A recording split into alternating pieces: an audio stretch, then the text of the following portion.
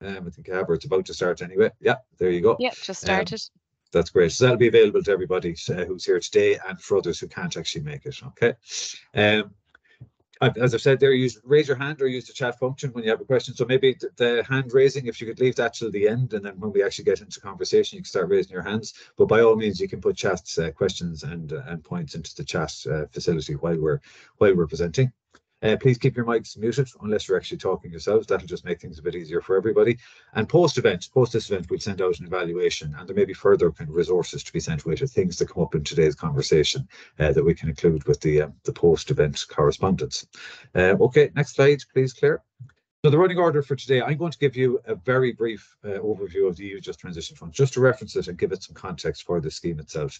I'm then going to talk a bit about the eligibility criteria for the scheme itself. Who is this scheme targeted at and, and what are the, the, the, eligibility criteria? Who can apply uh, and who can't? Uh, the funding model itself is quite, it's not unique, but it's it's, it's different than your normal grant, standard grant uh, grant uh, scheme. So we'll talk a bit about, about the funding model. Uh, and it's designed in a way to make things much easier for the applicants themselves. Um, so we'll talk a bit about that too. Uh, the application process, we will touch on that. My colleague Mark is going to show you very briefly how you actually register on the MyPobal portal, and um, the application portal, just you get some information around that, the application process, the deadline, that type of stuff. The timeline itself, or the projected timeline for the scheme in terms of analysis, awarding of uh, site successful applications, uh, and then the works themselves and when they'll be delivered. So we'll just give you kind of a high level timeline on that. Uh, support resources we have in place for the scheme, uh, and then questions and answers uh, at the end. So we'll leave plenty of time for that, as I've said. Okay, so the EU Just Transition Fund itself, you may be, I'm, I'm assuming that uh, most, if not all of the people on the call are either in the Just Transition Fund region or they're very familiar with that region in itself. Mostly, a lot of you be working it. I know a lot of the local authorities and others on the call will actually be from the region. But I am conscious, and we are conscious, that people outside of the region are interested in the scheme. They're aware of it. We even had a few applications already, and I'll talk a bit about that uh, in terms of eligibility in the region. But just to say that this scheme is under the EU Just Transition Fund uh, itself. Go on to the next um, slide there, Louise. Thanks. The scheme, uh, the the region itself, and I'll, I'll make the point now, and I'll probably make it again in case there is anybody on the call that's outside of the region. The scheme is strictly for the Just Transition Fund region. There's no, it's a black and white yes or no in terms of your edit. It is the most basic eligibility criteria that we have for the scheme. If you're in the Just Transition Fund region, that's your first step to say, well, yes, you can actually uh, look at the next um, eligibility criteria are you the type of community facility and do you have the type of site required uh, for this scheme? But you must be in the Just Transition Fund region. If you're outside of it, you simply can't apply. We can't scheme itself. Okay. Next slide, Louise. Thanks. The priorities itself, this again, this is the high level Just Transition Fund itself. There are three main priorities, in this scheme, the, the, the Community Facilities EV Charging Scheme, is under priority three, smart and sustainable mobility options. So again, just to kind of give it that bit of context. So you can move on there, Louise.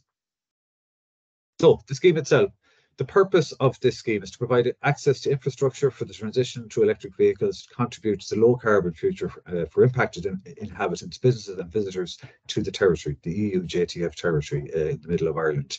Uh, and then to give that some further definition, it's to install publicly accessible, it's important to term publicly accessible EV charging points at community facilities, uh, facility locations across the region. So just that publicly accessible and community facility type locations. And we've tried to give the, the term community facility facility as broad a definition uh, as, as possible to make it um, um, workable for the for, for this particular scheme. And the funding itself that's been made available is we can prepare sites for so to prepare your sites, the sites you'll be putting forward in terms of the civil and electrical works, the fund the funding will pay for that, uh, and then the installation of the chargers itself. So there can be we think we anticipate in the main it we're aiming at the, the 50 kilowatt kilowatt uh, DC chargers or a mix, and I've got the bundles there. All of this information, by the way, I should um, say to you, is, in the scheme guidelines. So we've published the scheme guidelines. They're available on the, the scheme webpage. So Pobal has a dedicated uh, page for all of the schemes that it runs. If you go onto Pobal's website, pobal.ie, and we'll put this link into the chat, um, and you go to our program section, that'll bring up all the schemes that Pobal administers for various government departments. And you'll see the scheme there, the EU JTF Community Facility Scheme. And on that, you'll see the, the guidelines. So I would really encourage people to familiarise themselves with those guidelines if they haven't already. We've kept them short, focused, but very clear.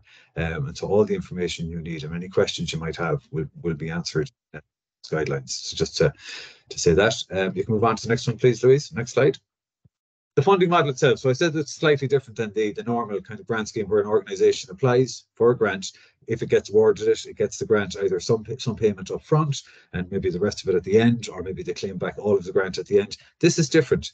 Uh, when we designed this scheme with the department, right that uh, for this scheme and for the Shared Island Sports Club scheme, which was the first scheme that, um, that we, we launched with ZEVI, or ZEVI launched with Pobal, I should say, um, where the, the, the department, ZEVI, will pay will pay the work. We're not they're doing a direct procurement um, uh, a model for this. So none of the organisations who apply under the scheme will actually receive the funding if they are successful. It's it's direct. funding will will be, go directly to the contractors who will do the site works and who will install the EV chargers. So you're not actually receiving any funding yourself. So the administrative burden is considerably lessened on yourselves as applicants. Uh, and then if you become a successful applicant, even further, there's, there's there's none of the kind of grant agreement and the administration that comes with actually giving a grant and, and drawing down a grant. It's done directly by ZEVI. So the model itself is ZEVI will procure the, the contractors and the charge point operators to install the EV charge points at the successful the selected sites.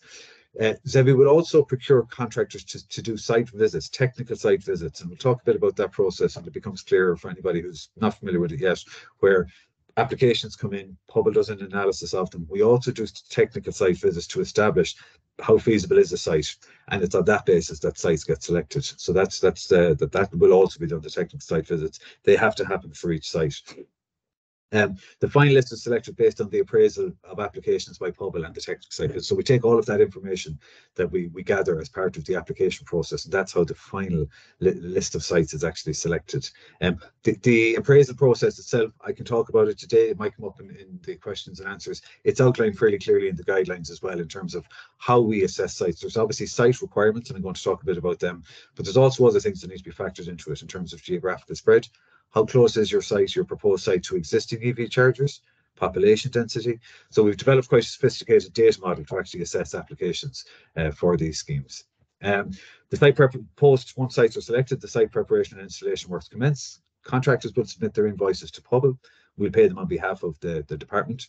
Uh, we verify the works, that all the works are done uh, in a standard way that Pobal does when it administers grants. We issue the payments and then the operation of the EV charge point. Maybe this is one of the most important points. You're all going to be interested in this is post installation. You enter into an agreement as a successful applicant. You enter into an agreement with the charge point operator. They manage the, the, charge points. You do have access to them, but they're actually managing the charge points themselves, the EV charge points. Um, the agreement itself, the finer details of the agreement, and we might talk a bit about this in questions and answers as well, are still being worked out under this model. But at a very minimum, and this is an important point, that it, it, the scheme is designed so that it's cost neutral to the applicant. If you are a successful applicant, we're designing the scheme so it's not actually costing you anything. And there may be, and hopefully it is the aspiration and the, the intention that there would be revenue sharing opportunities with the charge point operator that you enter into an agreement with. But at an absolute minimum, this is particularly important for community facilities, it's cost neutral, so it's not going to cost you anything. Okay, so that's just an overview, kind of high level overview of the, of the actual funding model itself. Next slide, please, Louise.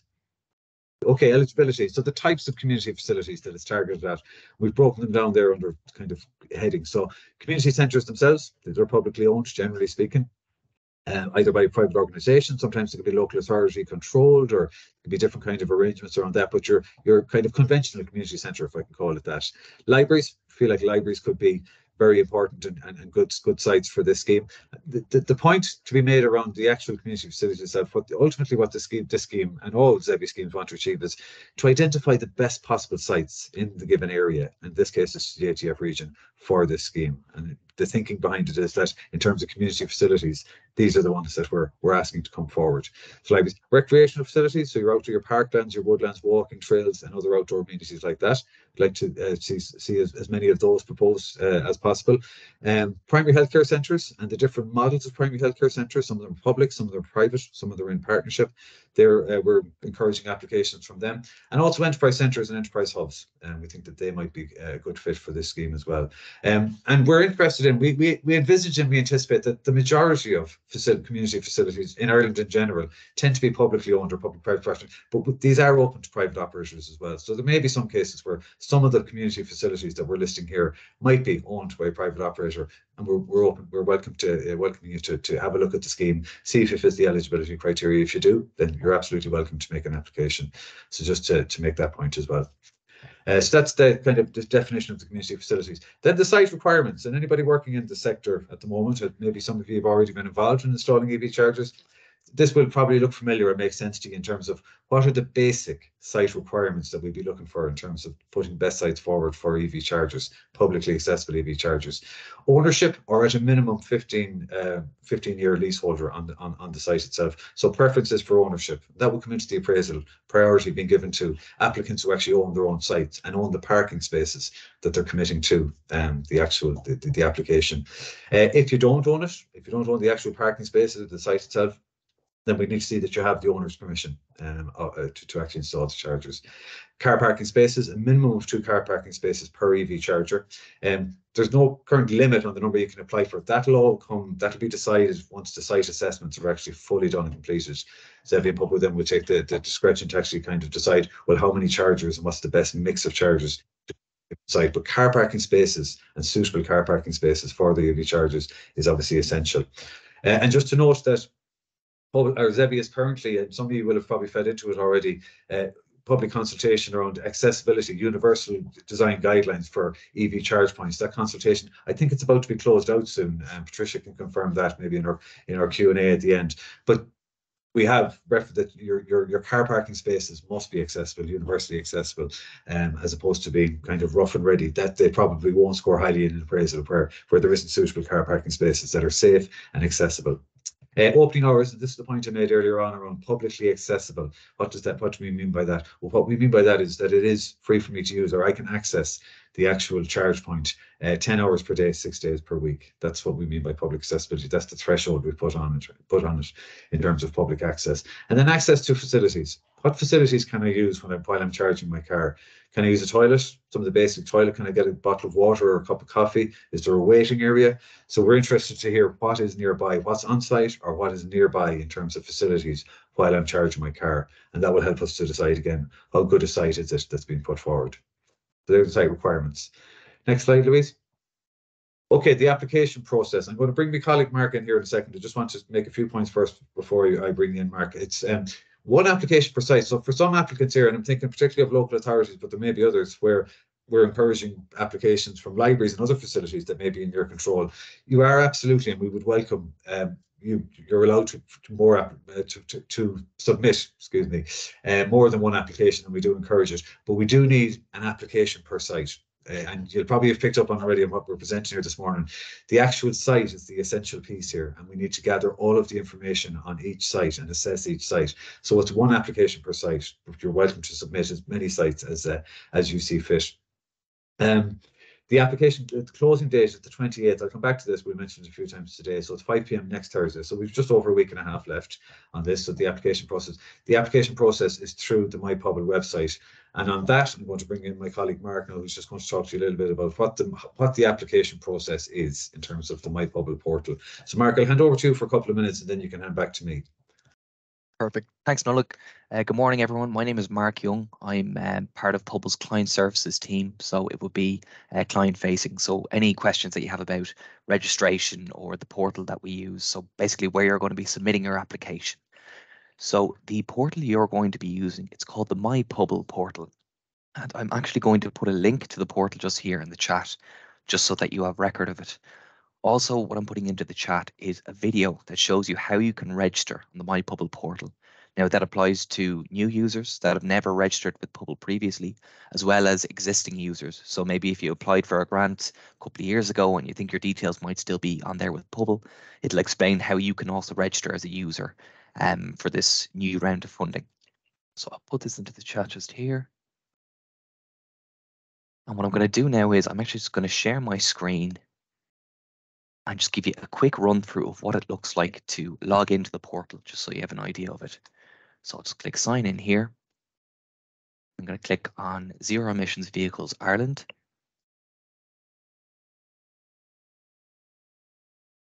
Right, so this is me logged in as a, uh, I suppose, a fully approved user just here. So now if I want to get to my application, I'm just going to click on funding just here. I click on my Applications.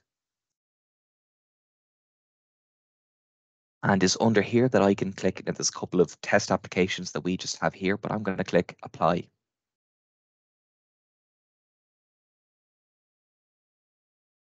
And it's on this next screen that I just put in a couple of simple details like a Eircode, how many chargers do I need, what county it is, I will actually have an opportunity here to download the application form if I need it. And I have an option here then to add my application form. So just type this out quickly. Now, as well as adding my application form, this is the section where I can add any other additional supporting documentation that might be important to my application form. So I've just uploaded my application form, but I'd like to upload my budget form, let's just say. Something along those lines. I would click choose file, budget sheet. I would click save. If I've done everything correctly, I should be able to submit my application. As simple as that. Now I know you probably have dozens of questions about portal registration. I'm sure all of you are at different different points that you um, of the registration process. I'll be here for the Q&A process that you can go through, but I've also put in details into the chat for the client services team, just our phone number there, as well as our email address. So if you do have any questions about registration or you're stuck at any point, please contact our team. If you do have any issues, I'd recommend contacting us sooner rather than later because the closer to the deadline, uh, we're going to have a higher volume of queries. Basically, it may be harder to get to your query. Uh, but I'll be here for the Q&A if you have any um, further details. Actually, just one thing I'm going to say as well, at that. If you do have more than one site that you need to register with Pobal, uh, please do contact our team because uh, although it's completely fine to submit multiple uh, applications under different sites, you will need to contact our team in order to get the ball rolling on that process. Uh, and with that, I'll just stop sharing now. Thanks very much, Nolik. Thanks, Mark. Thanks for that. Yeah, just to pick up on the point that Mark said, I think for anybody who's new to the Pobal application system, the MyPobal system, do as Mark was saying, there's contact contact us and Mark the, the, client services team, or and we'll be giving you another email towards the end of uh, the presentation as well, just to, to, tee up your application with us. If you have any questions, say I'm new, haven't registered before, I, I'm a multiple site owner, want to talk to you about that, and we'll guide you in. The application, just to reassure people, the application process itself is relatively straightforward. The application form, and you'd be delighted to hear this, it's about three pages and it really is just checklist around the site requirements. So there isn't uh, reams of narrative text that we're looking for with this application process. It's in tell us about your site and propose it. It's as simple as that. So it's a fairly streamlined application process that hopefully you'll all find um, fairly easy. And I think as Mark said at the start of the process, if you're just not familiar with it, get in touch and we'll we'll guide you in. Okay. So just remind people, there is, I'm going to talk a bit about supporting documents now in a second, but just remind people next next Thursday at 5 p.m. Like any grant scheme nowadays, folks, we cannot submit, uh, accept late applications, so there will be no no uh, exceptions to that. Post five o'clock, the scheme is closed, and um, and, and that will be that. Um, next slide, please, Louise supporting documentation. So we do need to collect some supporting documentation, which is standard in any grant scheme, just to verify that what you're telling us is is fact, um, and, that, and, and that you can you can prove it. So, and again, we've tried to keep this as, as reasonably simple as possible, and it's all to do with one governing documents, whatever your governing documents are, but that's a basic governance request to do with public funding that we would expect of you, and that's not difficult for any applicant to provide. If you are the, the site owner, obviously the, the the, the copy of the lease or the, uh, the, the deeds, whichever it may be. Uh, Three phase electricity, I didn't mention that in terms. So there's the prior preference is for if you have three phase electricity on site, and so we'd ask you to show us if you have three phase or single phase electricity. That's just a photograph of your meter, and that generally will tell us uh, what what your three phase is. Um, car parking spaces again, photographic evidence on site facilities. These are just quick photographs that you just supply with your with your site so that we have the information on your site and it's verified. Um, where the facilities are offsite, just some basic details. So there may be applicants who are in slightly isolated sites and, and they don't have everything that you'd like to see in terms of facilities right on site. So tell us about that. And we've put in the guidelines. If it's beyond a kilometre, it's probably getting into too too far away. But if it's you know anywhere between under a kilometre in terms of a local shop, selling station, you know, other kind of public amenities where we can use the toilet and, and, and get a drink and wait while the car is charging, then you can specify those to us. Um, okay. Um, and again, just reiterate the deadline. So next slide, please. Okay, just a kind of a high level timeline of, of the scheme itself. And these are projected timelines. They may need to change um, as the scheme develops, but this is what we're working off at the moment in terms of application closing, application appraisal, and actually scheme delivery. So closing next week, we then need to do our admin checks. We don't know what the volume of applications will be. We hope it's high, um, but we'll do our admin checks on all the applications that come in. And then we're into the analysis, that data model that I referenced earlier around how we actually assess sites. And Pobal will do that. That will take a number of weeks that in October and November. At the same time, or in November, we'll be doing the electricity new connection um, sub submissions or applications to ESB networks. Um, that takes some time too, again, depending on the volume of applications that we receive. Um, and then the technical sites themselves said that uh, ZEVI will go to, to market to procure technical technical uh, site visitors, so I can call them national technicians who will go out and inspect all of the sites that have been applied for under, under, the scheme and give us a report on those. And at that point, we've collected all of the information that we need uh, in terms of each site and this, this site selection can be made, the final site selection. So we hope to publish the list of selected sites for this scheme in February of 2024. Uh, then the procurement of suppliers to charge point operators, that starts from March to May. And then we're looking at sites work, site works commencing in June of 2024. So the middle of next year, the site works will commence. So there is quite a few months uh, of, of, of, I suppose, analysis and, and preparation work to be done prior to uh, the works actually starting on the selected sites. So that's the um, the overall thing. This, Next slide, please, Louise. We're nearly there, folks. We're nearly to the questions and answers. If you just go to the next slide, Louise, and then I will go back to questions. Yeah, I just want to talk to you a little bit about the support resources that we have in place. These are standard kind of support resources that Pobal will put in place for any of its uh, schemes that it's administering. Um, the dedicated webpage, have a look at that. I, I would say to you, there's FAQs on that already. So we normally put up FAQs post on uh, after the hosting information events, and depending on questions that come up today, we can update our FAQs on our webpage. So that link is already in the chat. That'll give you access to the guidelines and all other information on the scheme itself uh, on our webpage. They're all there. That is the general help uh, inquiries email for this scheme itself. If you have any questions about this scheme at all, am I eligible or you know you're eligible but you have other questions for us, contact us at that email. That's and we'll get back to you very quickly. We do have a development coordinator, that's like a project manager, dedicated project manager, and indeed a team working on this scheme. Daryl Moore is name. Daryl sends his apologies. He can't he can't actually make it today. Some of you may have been in touch with Daryl already. He just he couldn't make it today, so he sends his apologies. But Daryl is the dedicated project manager and then the post-launch information event, that's actually what we're what we're doing here today. So on that note, I think what we'll do is we'll leave the slides up just in case I need to reference them as we're answering people's questions. Uh, and we'll open the floor up to conversation now and to, to, to your questions. So I haven't had a look in the chat yet. Uh, I'll do that now, but I will see are there any questions in there. We'll get the conversation going. I see hands up there. Gary, I might start with yourself first. So Gary Brady, if you have a question for us.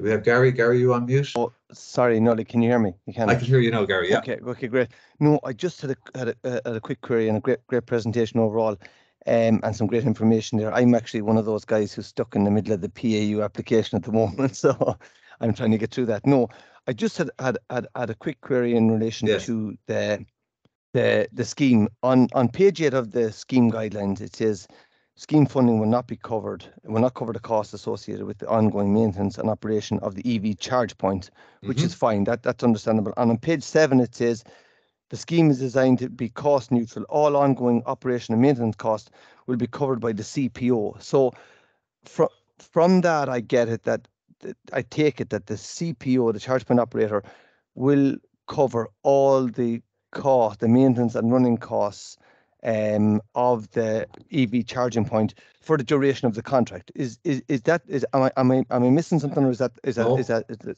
correct. So that's the good news, uh, Gary. You're understanding, you're interpreting correctly. And apologies if that wasn't clear in the guidelines. That is, and that they would also uh, shoulder the standing charge uh, on the the charge points itself, um, that they would have to pay to ESB networks. Um, so uh, that's the the whole point of it being cost neutral. That ZEVI will pay for everything up to installation. After that, then charge point operator takes over.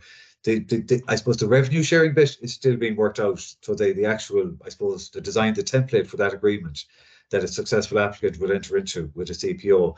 That's being finalised, and I'll, I'll, let Patricia talk about that uh, in, in, a minute. But just to say that, yeah, you're right. Uh, I meant to answer your question. Yes, there's no cost to the the successful applicant in terms of ongoing maintenance, and obviously the customer pays for the amount of. And this was some uh, it came up in, in the last session we did where it seems some people weren't sure was actually was it free to use? It's not free to use. The charge points, you know, whoever's charging their car has to pay.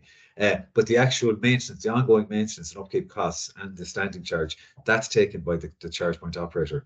Does that answer your question, Gary? It yeah, it does. No, just and just just I suppose to to reiterate that that so um if if if if the if it's a lost leader, so if the it, the, the the EV charger and we hope they're all they all make money and that that they can be shared around, but if the charge points uh, are found to be in a location that's actually not being used by the general public, will the charge point operator still absorb those costs for the duration of the contract? In other words, while the profits can be shared, great if, if there is profits. If there's a loss, will the loss be shared between the charge point operator and, and the site owner? I'm, I'm going to bring my colleague uh, Patricia on this. Like I would, my I, would, I, I want to say no uh, because we were saying for saying this game is cost neutral.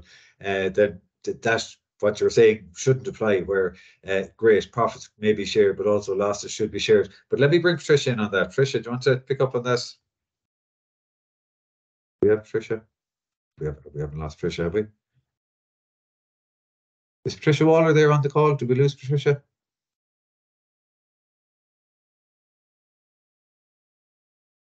Okay, maybe we've Okay, got no, Patricia. Patricia, Oh, you you're there, back. Yeah, perfect. Yeah, I wasn't able to unmute myself.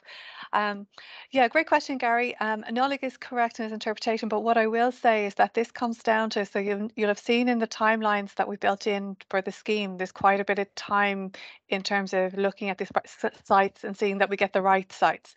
So this scheme, although we are absolutely wanting everybody to apply who thinks that they have a good site, Zevi won't be able to fund every site because every site will not be suitable. And it won't be suitable for that very fact that we have to find the sites that will be self-sustaining. And so that won't be um, a, loss uh, for anybody. The the charge point operator will um, hopefully through the the contract that we're going to put in place for the procurement in the procurement of works that we do later next year, um, will take on the um, repair and the maintenance of the the charge point.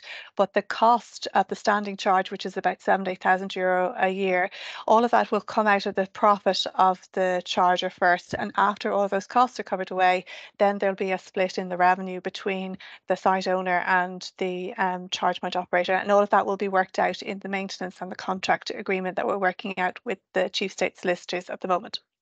So I hope that that sort of answers the question, but it is to say that um, we're hoping to avoid that exact scenario by being careful and looking at the sites and seeing are they a good site to put EV chargers into. Thanks, Thanks. Patricia. Yeah, thank you. I'm going to take a few questions I can see in the chat here, and then I'll go back to the hands up because I know there's there's uh, one or two there as well. Also, the application process as for the uh, applicant's MPRN number, will the car charger company connect the building powers or apply for a new separate power it to the building to the existing power supply? There may be exceptions to that. Um, I'm not sure if I've got the person's name, Michael. Uh, there may be, but by and large, that's why we reference preference for uh, three-phase electricity. We're looking at connecting to the um, to the existing uh, supply. So I hope that answers that question. Um, the Pobal portal, um, Mark, can you see that question there? I'm going to get you to answer that. How do we get a URN number? Should a council section? I just want I just want to say something there. Sorry, Mark, before you come in around. We'd encourage it, and maybe this is something we talked to council specifically about. Uh, I'm trying to second guess the way you might do this. Any any given money, you've given you several libraries, at least several libraries, and maybe other sites that you're considering. Uh, does somebody project manage it in terms of you kind of think, okay, we're any given council, we think we're going to put forward 10 sites or whatever it might be to the scheme. Uh, and how do you manage that from a workflow yourselves in terms of actually you need to submit uh, applications per site, uh, but that you've got the, the Pobal system to, to, to operate. So we'd happily talk to you about that outside of the call here just to figure out what's the best way for you to actually, I suppose, manage that at your end. Mark, you might just clarify the URN number question. I will. Uh, so, Anne-Marie, if, if you have a library that um, I suppose is under a county council or a local authority, you'll need to contact our client services team. Uh, so either give them a ring on the number I put in the chat or online support at pobal.e. You can email as well. Essentially, what they'll need to do is they'll need to set up the library under the local authority that is already up on um, on the Pobal site because we have all of the local authorities' details. Um, and they will be able to set that up and then send you the details so that you can associate yourself to the library on on the portal. So yeah, uh, basically what you can do is you can send an email to online support pobal.ie and they can get that process started for you. Thanks, Mark.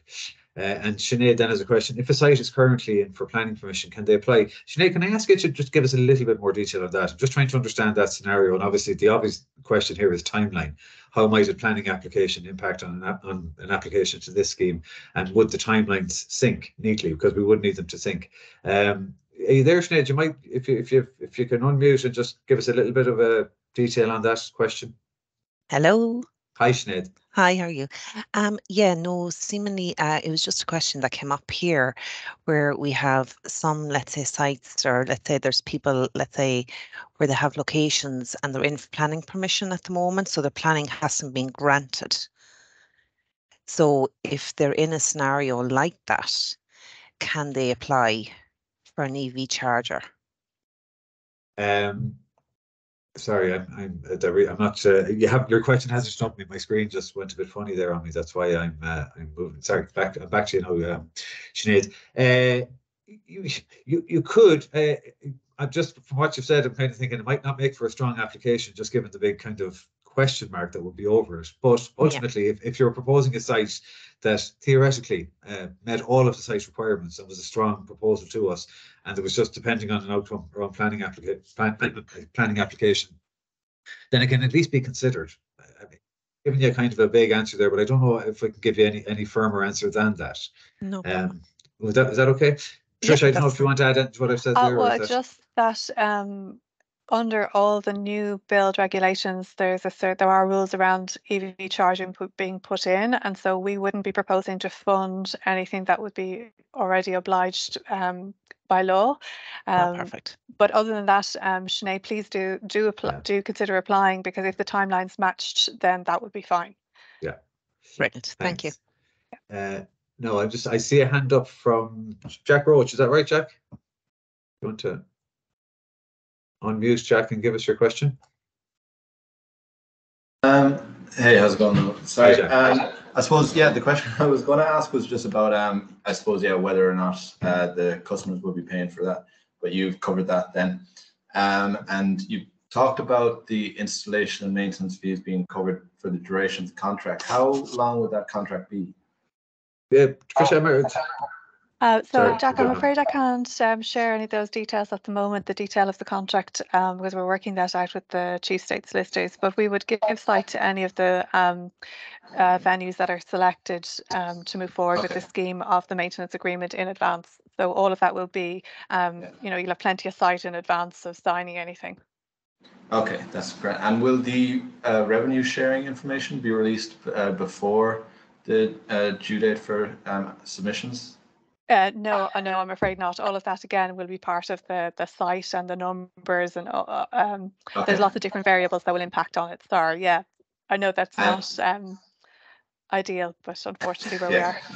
Ah, that's grand. But uh, I suppose just the last number, we kind of identified just in the last couple of days, um, maybe three-ish spots that we can definitely write today, um, apply for, or we can have people out there tomorrow. Um, but you mentioned at least two, and I saw a photo of the charging stations. Are, are they coming in pairs, these charging stations? Would we be better off to split up into four sections? Um, so the uh, I'm sorry, I'm not entirely sure, um, Jack, I understand. So you have three sites, is it, that you think would um, take charges and you're wondering how many charges per site, is it? No, no, sorry. we- just have a car park out here um, in the local work up here, and um, we're trying. We kind of identified three parking spaces, um, but um, I've seen photos where you have a, a hub with two ports on either side. Would it be a situation where you ideally want uh, even pairs? So, so I think with the um, with the scheme, and again, it's around always for us um, choosing sites and making sure that we put in um, charging that is sustainable from an economics point of view. We don't want anybody to be Mm. left to holding a, a bill um, that they Mhm. can't pay in future years. So at the moment, what we're looking at for each site that it makes, from an economic sense, it makes sense to put in one charger with two connections that will feed um, to two car park spaces. Yeah. But again, that that will change. That will depend on lots of things. So in the analysis of the sites, we're going to be looking at the grid capacity nearby, the cost of the electrical connection, the civils works that might be required to put in one or more chargers, the um, amount of traffic nearby, the location of other charge points relative to your site, all of the things that would that would impact on the financial viability of the site and the cost then of the project itself. So uh, what I would say at the moment, I would I would be thinking that one charger with two connections for two cars to charge in in two car park spaces side by side. Okay, that's great. Thank you. Thanks, Jack. I might get you to go on mute again, Jack, if you don't mind. We were getting a lot of feedback, I think, and it mightn't have been you. I'm not trying to single you out there, but there was a, a lot of echo coming through. I see a few other hands up here. I'm going to work through those, and then I'm going to go back into the chat because I think there's uh, there might be a question or two in the chat as well.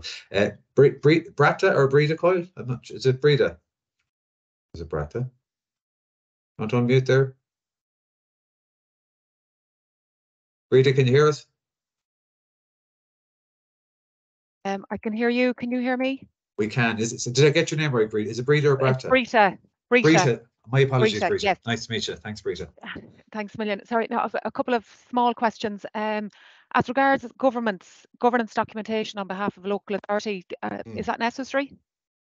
Well, we, we- yes, but I, I mean, it shouldn't be too difficult to supply in terms No. of, I suppose, the, just basic What exactly does verification. that look like? Sorry, do we Uh, know? Well, a governing document for a, a local authority, I should know that, shouldn't I? And if anybody on the call can clarify it for us, but every organisation will have to have some uh, uh, level of governing documents around constitution, Okay. uh, memos and arts, uh, the, the actual, the, the governing document for the organisation as it's set up. Your, your local authority will have a registration number and stuff. So it's, it's the basic governing document. Uh, we're not going to go too far into it with these, but just in terms of public funding, we need to ensure that, and I suppose it's just, it's not done where you just give some applicants a free pass and others have to, you know, submit governing documents. So there will be that standard uh, governing. I- d- Does that answer for you, Brata? We, we'll certainly get that clarified for you in terms of what, what is the standard governing document for a local authority?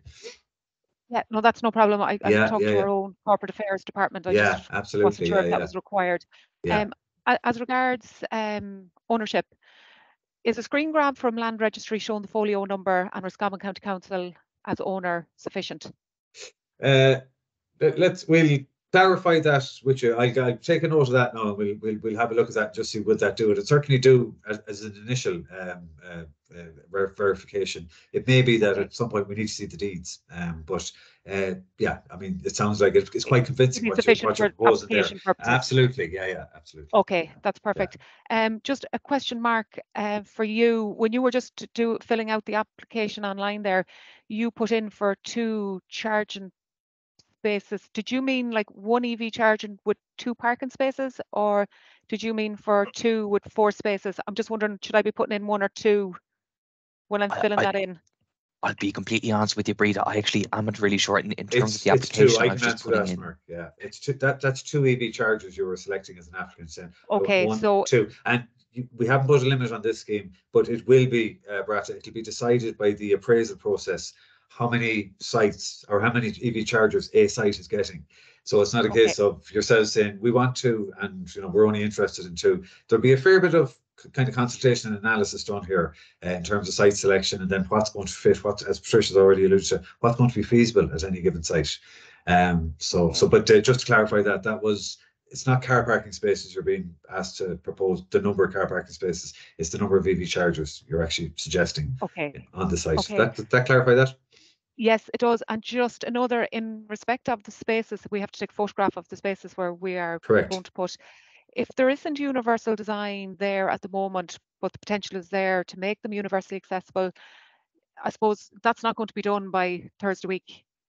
Oh, no, Um, no, no, I get could that. be we looked understand that, at. But, but show us the, yeah, show us your, your, um. The yeah, amount of space, I suppose. Oh yeah, take the photograph. Take as good quality photograph as you can, so that we can make an assessment of it.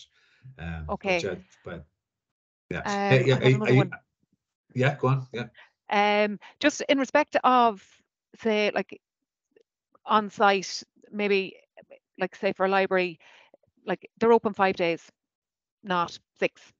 Um, so I may need to add up images of maybe a local petrol station or coffee shop, or is it literally just the outside of the building? For which um, Um, you know the way you need to see um, evidence that there's facilities within close proximity between you Yeah, know, oh, 500 you meters or 1,000 uh, meters. Do I need to uh, just take a photograph of a local You can shop do, or? you can, and actually the application form is designed in that you can just let us know. You can like literally just type into this is nearby. Um, we- right, I we'll don't be able actually- to assess that. Yeah, yeah. For the photographs of the, the on-site facilities, yes. The off-site facilities, like we're not expecting people to walk halfway down, you know, half a mile down the road or a mile down the road, take a photograph and include that. It's Okay, it- On-site facilities, naturally, I think anybody who's kind of even half interested in this scheme now would understand, on-site facilities are going to get preference. It doesn't mean every uh, site that gets selected is going to have on-site facilities, because there will be quite a mix, and there's going to be a broad mix of sites proposed to us under this scheme. Um, but there's naturally going to be preference for on-site facilities, so that, you know, I don't have to walk too far away from my car as I'm charging it. Does that make sense?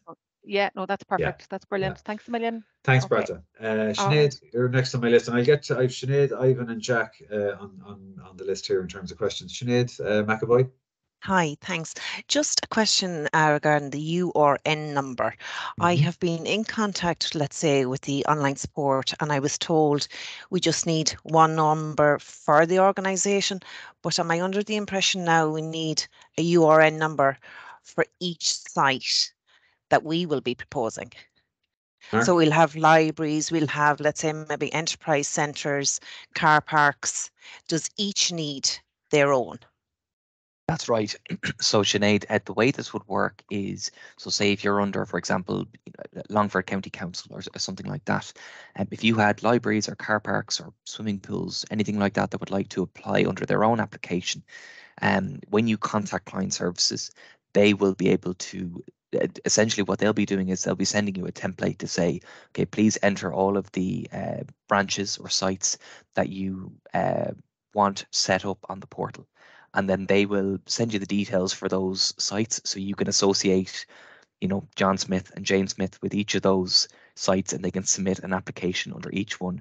But each one will get their own urn it'll look very similar to the one for longford county council. Let's just say it'll kind of be like um uh, say for example i'll actually put this into the chat so you can see it. So this would be the the standard layout of a urn it would be six digits and a letter. And then for each um, and then for each site they will just have a dash one dash two and dash three and so on um, for each site that you create um, as well as that main that main organization. So Mark, when we confirmed the URN number, Mhm. I then got my director of service to set himself up. Two people authorized him, and he has now set me up as a user.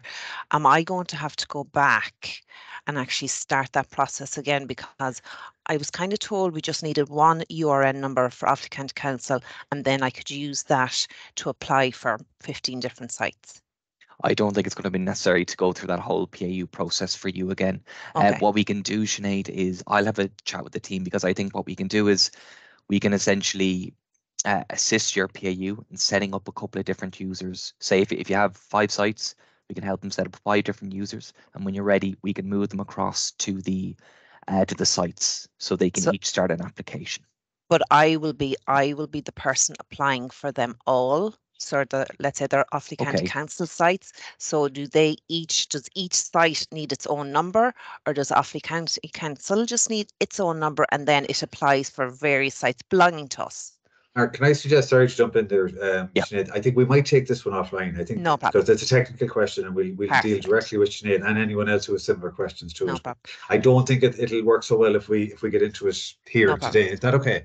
And I've Thanks, just one more question. Yes, go for it, Sinead, yeah. Sorry, we have, let's say, a few really, really good tourist sites in the county, um, but they do not meet the 10 hour a day requirement. Okay, that is a requirement. Uh, Okay. And, and, yeah, so I, I mean, talk to us They about probably Sinead, meet maybe nine out. hours, but not the 10. Okay, Patricia, any thoughts on that? Um, Sinead, I would send in, send them in on, on an application, include them in your application for the moment. Um, Okay. the reason the state aid, uh, it's a state aid reason is why we have the, the hours at 10.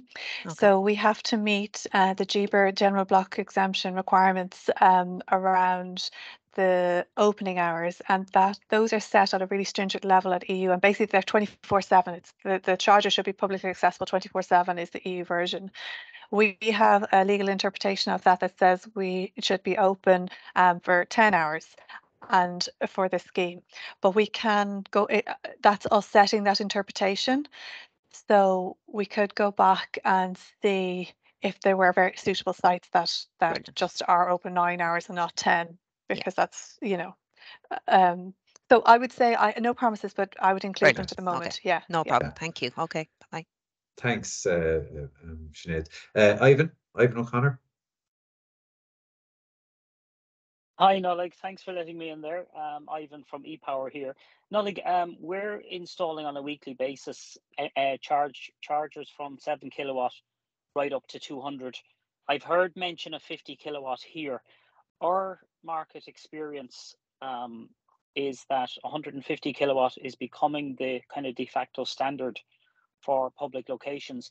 Do you believe there will be a uh, you know a hard cap at 50 kilowatt? on the on the uh, the the requirement, or will it be subject to power availability? I, I'll bring Patricia in on that. Thanks, Ivan. Um, Yeah, Thanks for having you today. no Yeah. problem hi ivan nice to meet you Hi, um Nollaig. Hi, Patricia. So um, in terms of this scheme, so our scheme is to put in what we we got this funding from an EU level is to put in 50 kilowatt chargers um, in, and the reason 50 kilowatt makes most sense in these types of locations, as you know, is the standing charge on an annual basis is very different for a 50 kilowatt to 150 kilowatt. So a 50 kilowatt, sta- the standing charge for the electricity every year is about seven, 8,000 euro and up at a 150 kilowatt, it jumps significantly. So you're up into 20, 30, 40,000 um, euros a year. So obviously for the level of usage at the site, so, so all of those factors, that, that's why we're targeting 50 kilowatts at the moment. Um, and yeah, I mean, we will be looking Okay. at each of the sites and to see what comes in and what makes most sense. But but that's the reason for the 50 kilowatts is as the as Yeah. um Uh, being at the set standard at the moment. Yeah. I, I Patricia, to- totally agree and understand that. Um, however, I imagine you're going to get quite a number of applications, and there could very possibly be a number of sites that actually it would be make far more sense to put in 150 kilowatt given the the likely usage, etc. So I just ask maybe you consider not putting a hard cap in it because ultimately the customer will get a better service. Um, you know, if, if if the site can take it, and and ultimately if it's getting used, the standing charge will get covered. So it's really just to to ask if that limit could not be a hard limit. Again, uh, at the moment, uh, what I would say is we will take that into consideration. Thanks for letting us know. Um, and certainly, I That's fine. genuinely mean that because we will. But Yeah. but I uh, no, I don't know the sites yet, so I don't know where they are, what they look like, what they're. But we will. All of the analysis, the geographic analysis that we do, the electrical connection requests are all. Yeah. Um, I suppose the purpose of them is to find out exactly what capacity do we have nearby, how Yeah. much would it cost us, who who would use them, much in the way Yeah. that a commercial operator would look to place a charger that is what we're doing with this scheme. Now we have a, a public good element in that we and a social good element. So we will be looking at sites that may not potentially um, Yes. meet the uh, you know the commercial um, investment level, but um, at the same time the sites do have to be self-financing and feasible um, because we don't Yeah. want to hand a community facility a charger that they are now on the hook for um, you know an ongoing financial um, burden uh, that's not necessary had we just put the charger into a, a site down the road that was more feasible. Yeah. No, it's a it's a wonderful program. Thanks, Patricia. No problem. Thanks, Ivan. Thanks, Ivan. Uh, Jack, I see your hand up there, and I'm going to go to Jack, and then I'm going to go back into the chat because I think there's a couple of questions in chat. Uh, so, Jack, go ahead. Yeah, um, I suppose just um, when we were going over the um, uh, uh, suitable uh, places for um, for people of all abilities, um, we have a couple of uh, different areas here on site that we could put these charges in. Now, one of them has a broken stone on the ground, but that's where the coffee shop um, is, and where there's a bit of a restaurant there. That probably wouldn't be completely accessible. Would that be an issue? Yes. Well, is it show up, um, Jack, in the site? So every site's getting a visit. That's the type of thing Yeah. that a site visit is going to pick up on. Uh, and now that could be worked out then in terms of how your overall site scored using the data Yeah. model the Pobal has developed for a site. Uh, it might score very highly. And then there's this, this issue of a broken a piece of broken path um, uh, stopping. So Yeah. we'd come to that, but like it, it's obviously there won't be a charger installed at a site that is completely inaccessible for somebody to use. Yeah. yeah. So we'd have to we'd have to arrive at some kind of a, a resolution to that. Yeah. I suppose we just, we do, we own both properties, but we do have a tarmacadam area and the coffee shop area. Um, so it'd be just uh, for our application. And just uh, one kind of stupid question for me, because I don't have an electric car. These charging points, they, they're self-catering, are they? That, that we wouldn't need to have anyone involved in, uh, uh, Self self catering, Jack. Just in terms of can people show up, put in the charger, charge up and then leave?